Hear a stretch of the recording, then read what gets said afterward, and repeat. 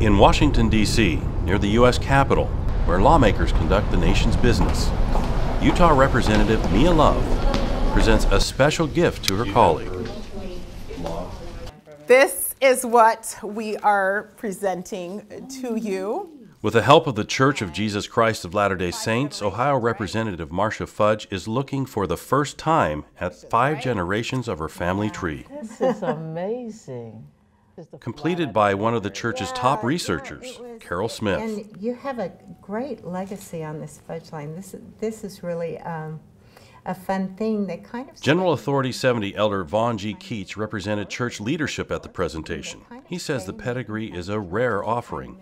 It really is a rare event. Uh, it takes a lot of time to go back and, and find ancestors and be sure that they are the proper ones in the line. So we don't do it often, but when we have an opportunity to do it, we're really grateful to do it, and we really make sure that, that what we're doing is first class. Carol spent weeks researching, but that hard work paid off, finding gems of information in Representative Fudge's ancestry. As you look at the births of these, this fifth generation, you can see that a lot of these ancestors were born into slavery.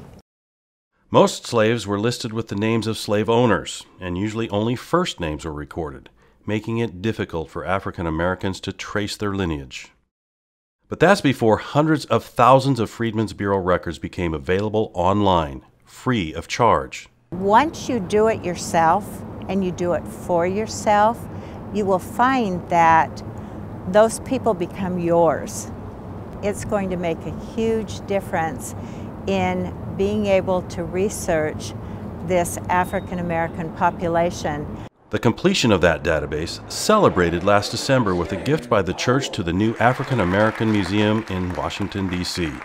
I saw the partnership between the Friedman Institute and the LDS Church with the Family Research Center in finding genealogy and being able to find out um, the history and the ancestry of, uh, of African Americans.